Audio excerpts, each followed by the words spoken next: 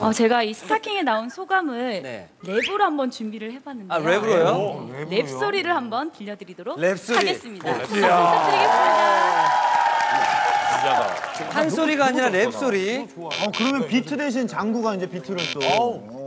그때요 퓨전 국악 그룹 퀸이 스타킹에 나오는디 헐.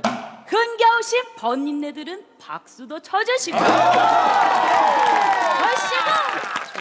좋다 추임새도 넣어주시고. 얼씨구. 얼씨구! 좋다. 퀸과 함께 랩소리를 즐겨 봅시다. 스타킹이 좋아라고 스타킹이 좋아라고 스타킹을 덜어붙고 나니 도로 숲 툭툭 털고 돌아섰다 돌아보면 호동 오빠 옆에 있고 돌아섰다 돌아보면 들기 오빠 옆에 있고 돌아섰다 돌아보면 스타킹 해보기 하나 갓. 끝!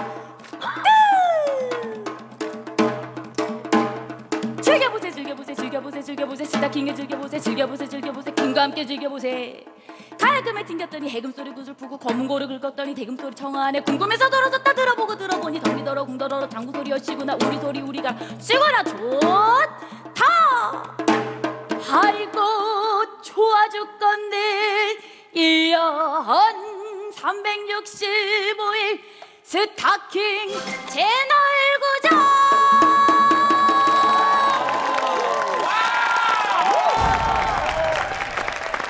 你进来。